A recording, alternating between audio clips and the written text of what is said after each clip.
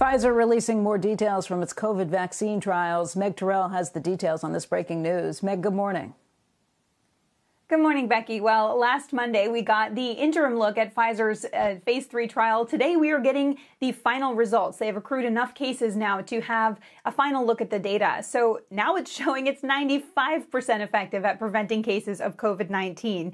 Uh, now they, at this point, have seen 170 total cases. The split of that is 162 among people who did not receive the vaccine, who are on the placebo, only eight on the vaccine. They also saw 10 severe cases of COVID 19 in the trial and nine nine of those cases were among people on placebo, only one on vaccine, suggesting also that it's strongly protective, not just against symptomatic COVID 19, but also severe COVID 19. They also saw efficacy across age groups, 94% in adults over 65. The company saying that the vaccine was well tolerated, no serious safety concerns, and they passed that two month milestone. Uh, so now they plan to submit their application to the FDA within days. Uh, in terms of other sort of tolerability issues, they say side effects were headache and fatigue, often following the second dose. Those can be rather intense, but they do tend to pass quickly, guys. So this moving incredibly fast. Pfizer and BioNTech now planning to file within days to the FDA 95% efficacy on this COVID 19 vaccine. Guys?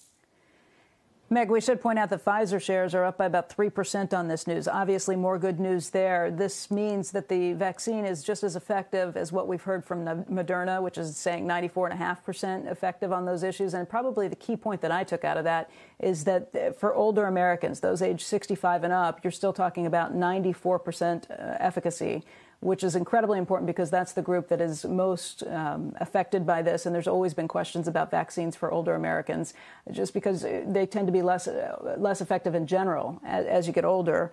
Uh, the market right now is still looking like it's up at about the same levels it was before, but this is very important news. Shepard Smith here. Thanks for watching CNBC on YouTube.